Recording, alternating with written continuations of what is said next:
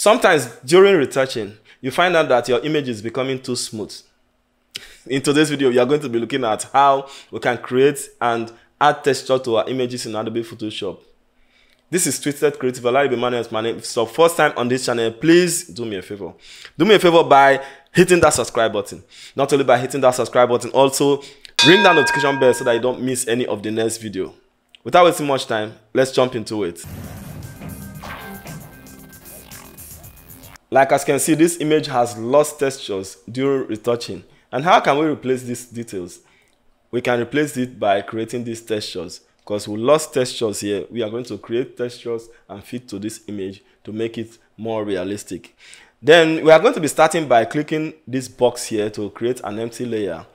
Then after which we go to edit, fill. So in this dialog box, you have to change the content to 50% gray. Then your mode should be at normal. Then opacity should be at 100. Then you hit OK. Then we'll go to this gray layer and right click on this gray layer and choose convert to smart object. We are converting this to smart object so as to go back and make changes later. That is working non-destructively. We'll go to filter, then we'll choose filter gallery. So as you can see, we have a lot and lot of filters here. We have to choose this last one. Then if you check the first box here, you click and you have a drop down, you see texturizer. Then choose texturizer. Then the texture itself, you have to change it to sandstone, not bricks, not canvas, sandstone. Then if you go to the, the scaling, you can scale from left to right. Dragging the slider from left to right will will increase or reduce the size of the textures. We have to look for what is going to suit our image. But for my image, I believe my image is bold enough to handle like 100. It shouldn't be specific. Just try and see what suits your image. Don't allow it to be too big nor too small. So we have to choose something like 100 for my image. So, and hit OK.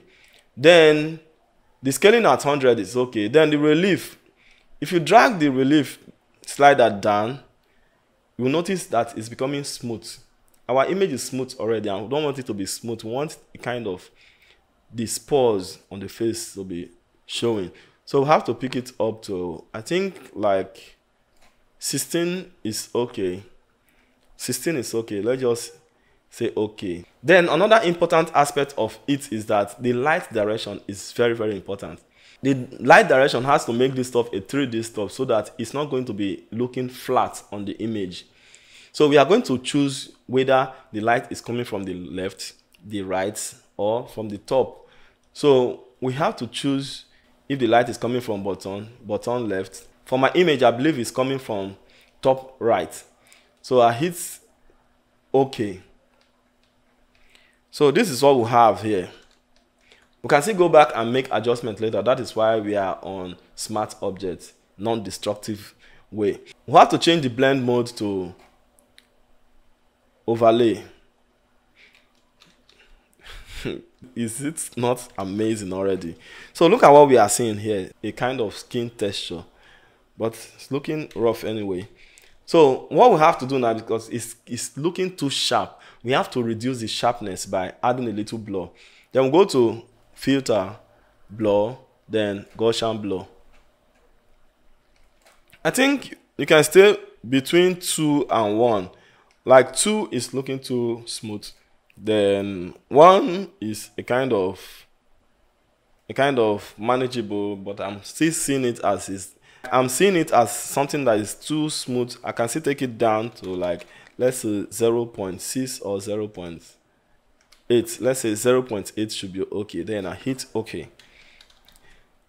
Then the next thing we do here, because we, we don't want it everywhere, we just want it to the areas where the skin texture is needed. That's where we are going to place them. So how can we do that? We select the layer mask, then use our Control I to invert if you don't know anything about layer mask, you have to watch this video here to have a little idea of how layer mask can be used. So like, let me briefly explain how layer mask works. If you have it black like this, like initially it was when I use Control I it was like this. It was looking white. White shows your effect white shows what is on top.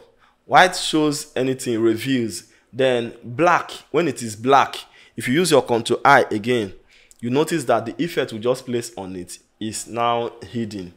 That means something like under it is hidden under this image which we are going to be using our brush tool to paint it out. It starts black now. We'll pick our brush tool.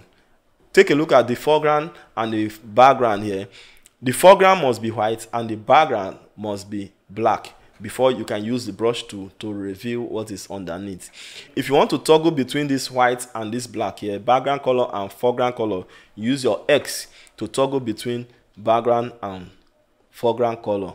So you have to make sure your foreground is white so as you can paint out what is hidden here. So we are going to be starting by, I think 40% opacity or there, thereabout. Let's say 40% opacity then 40% flow. Then we start painting on those smooth areas, those smooth areas that we don't want that smooth. We want it to be a little bit rough and we have that texture. So this is what we are going to get. So you have to click around the area. You have to paint around the areas you want this effect on.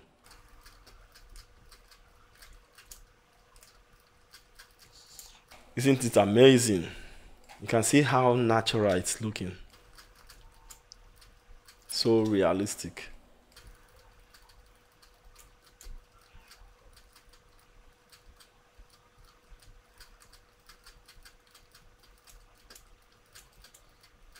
Now, as you can see, despite the smoothness of the image, the image is still smooth, but we still have the textures intact.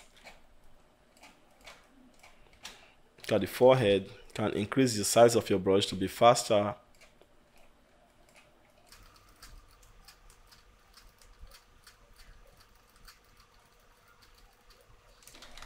So as you can see we are done. But I'm not supposed to do this area but let's just do it. It's part of the job. It's part of the tutorial. So we'll have it like this so taking a look at it now, you notice that a great job has been done here. You see the textures. Let's see before and after. This is before and this is after. This is before and this is after. This is before and this is after. So isn't that amazing? Of course it is. So as you can see, it's done. I think that is it for today and it's easy, isn't it? If you find it interesting, helpful and useful, hit that like button. And also leave a comment below telling us where it has helped, where it has not, and the area we need to improve on. Like I said earlier, if you are new on this channel, please do me a favor. Do me a favor by hitting that subscribe button. Not only by hitting that subscribe button, also ring that notification bell so that you don't miss any of the next video. Thanks for watching today's video, creative people. Keep on creating. Please stay creative. Continue creating. See you in the next video. Bye for now.